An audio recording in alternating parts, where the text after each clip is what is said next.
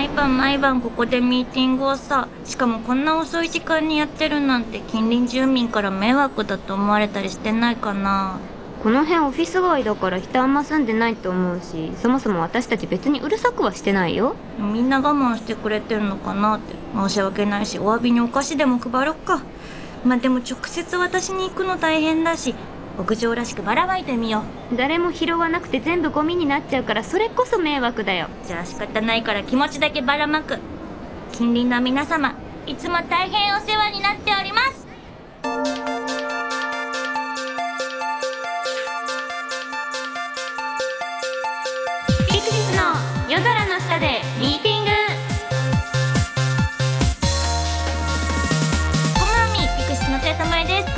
はピクシスの伊藤美久です。二人っきりです。はい。さてこの番組は毎日違った内容でお届けしていくのですが月曜日はこちら。ミクの日。はいミクさんどうぞえ前回何の話しましたっけあれ文房具はあ文房具え一個前結構前一個前何の話したんだっけ私あ違うよ。なんかあのの話だっけ？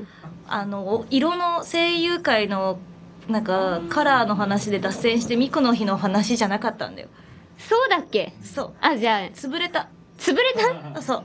潰れちゃってたの？そうミクの日は。あそうなんじゃあ久しぶりの文房具以来のミクの日だってシンプルいうミクの日。っていうこと？そういうことです。へえ一ない言んかい。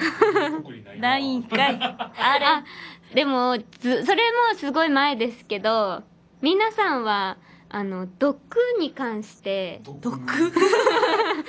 ポイズンの？ポイズンポイズンにポイズンのこと？ポイズンに関してあの知っていますか？毒？毒の知識？はいまあでもこの動物には毒があるとかコブラとかね。なんかあの コブラ。ヘビとかね。ヘビ。強そうじゃないですかやっぱコブヘビっラっててヘビの総称ってコブラ。ヘビの中にコブラがいる。でも青大将には毒はないよとか、うん。マムシには毒があってあるよとかね。あとなんかヒョウ柄のちっちゃいタコにすごい人をなんか20人ぐらい一瞬で殺せてしまう猛毒を持ったタコとか。そんなタコいるの？そんなタコいるよ。ヒョウ柄のちっちゃいやつ。見た目可愛くあて。あれね？あの黄色いさ黄色と黒のやつじなんかゃなくてそうヒョウ柄っぽい感じのタコ。あれがねあれ可愛いよね。あいつすごい危険だっていうのは知ってる。そんぐらいあと生産狩りとか。ペロってやってこれは生産狩りだっていう。ペロはダメです。ペロはダメなこのイメージ。うん。ペロはダメなんですけどね、まあそう。そうね。あの毒展っていうのが国立科学博物館でやってて。毒毒展特別展。毒っていう。毒親とか飾られてる。飾られてない。そんな毒じゃなくはい。本当にあの毒キノコとか。あそう毒そう。毒キノコとか、うん。まあ蜂とかね。あ動物ね。そのさっき出てたさ、うんうんあのクラゲとかさタコとかさなんかそういうのの毒？えめっちゃ面白そうじゃん。あそう終わってる？えなんかじゃあ萌さん誘えばよかったえね行ったの？行った。それに行ったんですよ。なんと？めっちゃ楽しそうなことしてんじゃん。あのね本当にめちゃくちゃボリュームがあってすごく楽しかっえたん結構人ですけど。いっぱいいた？もうめっちゃやっぱ人間って毒に興味あるんだなって。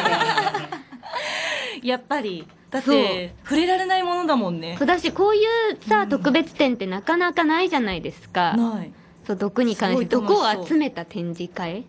えそう面白かったし、うん。なんかねそういう分かりやすい毒だけじゃなくて身近に毒っていっぱいあるんだって。ー、え混ぜるな危険系？混ぜるな危険ももちろんそうなんだけど普通にさ摂取してるもの？例えばマグロとかさお魚を摂取するだけで水銀を取ってたりとかするわけよ。確かに。そう。だから人はすごい毒には勝てないけど、うん。毒と一緒に実は生きてる共存できてる。のそう共存できてるっていう。だって菌だらけって言うもんね人間。そういうよね。菌だらけだし菌を割と摂取しちゃってたりとかしたりするんだって。あ植物もね。かじゃあサラダとかも食べてても何かしらの毒は摂取してるってことだよねそうかもしれないあとなんか人間には毒だけど、その毒を毒としない動物とかもいたりとか。ユーカリみたいなこと？コアラの。あ、そうそうそうそう。なんかユーカリもさ、コアラだけが食べれるじゃん。あ、毒キノコもね。えー、でも毒キノコって見た目可愛くない？そう。ねなんか、普通に食べられるキノコとすごく似てるキノコが多いらしくて。だから間違えて取っちゃって食べたら終わるっていう。大笑い竹。えー、全然食べられそうな見た目してる。そう、なんかしめじとかと、ねそう、み似てたりとかするっていう。それ食べてしまった時の対処法とかも教えてくれるの？いや、あの、対処法はないから、上にね、マークだけがついてる。ニコちゃんマークで、これは食べてもお腹を下すだけの、なんか痛いぐらいの感じの顔ニコちゃんマークと、あと、絶対に食べたら死にますっていうのはもうバッテンのマークの顔もえがついてる。絶対に食べたら死ぬキノコとかもあるってこと？ある。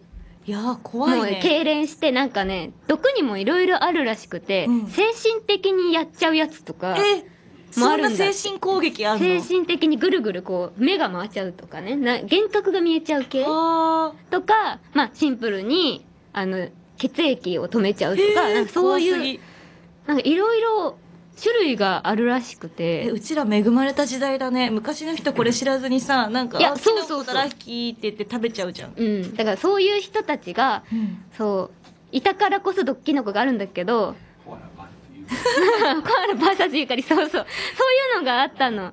えーハブバーサスなんだっけな、噛まれても大丈夫な動物とかいるんだよ、ね。マングースじゃなくて？あ、マングースだ。なん、な、なんとかかんとかって、マングースだった気がするけど、名前がね、あったんだよ。えー、めっちゃ面白そキノコもねうん、毒キノコはいくつかあるけど、キノコって全種類調べられてないんだって、まだ。え未だに。う未知なんだ未知なんだって。だから量が、多すぎてそうそう、種類が多すぎて、まだ全部は分かってあないんだって。いつら金だもんね まあそうだね。そう、だから本当に山奥とかで勝手になんか見つけたものは新種だったりとかしちゃう可能性があがったりするらしくて。すごい毒めっちゃ興味あるわそう。すごい楽しかったんだけど、一番面白かったのが、その毒たちを研究してる人たちが最後に、その自分にとっての毒はみたいなのとかの、そう、コラムみたいなのがあるのよ。そこがすっごい面白かったの。で。彼らにとっての毒は違う毒なんでしょそのなんか、そう、お酒とですとか、飲みすぎてしまいますって、みたいな。こんな怖いもん調べてるのに、お酒結局お酒なんだなんみたいな。ですとか、えー、そう書いてあってなんかそういうのに徹してる人たちがいるからこの毒展ができてんだなっあてりがてえな。守られてるもんねうちら毒から。すごい人がいるもんだっていう。確かに。えグッズとかなかったの？グッズいっぱいあった。ねよ、絶対可愛い。毒グッズいっぱいあった。ズ絶対可愛い。毒キノコグあとッズみたいねなの欲たしい。鷹の爪団とコラボしてたのよ。すごそう。あすごいねクイズノックともコラボしててであの説明しながら。あそうかわいいグッズめっちゃ可愛い毒キノコだ。ぬいぐるみとかクッションとかねいっぱいあって。あそうピンバッジのねガチャガチャ回したの。したらねこのタコだった。黄色い。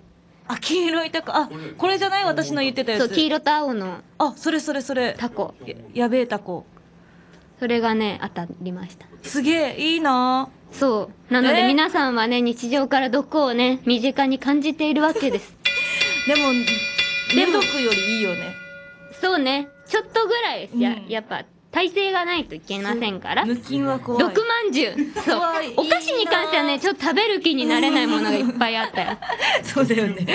入ってないのは分かってるけど、うん。なんか気持ち的にね。そうそうそう。えー、めっちゃ楽しそうなことしてるじゃん。そう楽しかったです。充実してるじゃん、はい。いいこと。面白かったので皆さんももうやってないですけど。誘終ってほしかったわ。終わりですはい、えー、番組ではリスナーの皆さんから私たち宛てのメッセージ、過去なでのお便りをお待ちしております。メールアドレスはすべて小文字で、ピクシーサンダーバー RF アットマーク JOQR.net、ピクシーサンダーバー RF アットマーク JOQR.net、ピクシスの続きは PYXIS です。はいそれでは今夜はこの辺でお別れですここまでのお相手はピクシスのテータマイとピクシスの伊藤美久でした。また明日屋上で会おうねバイバイバイバーイ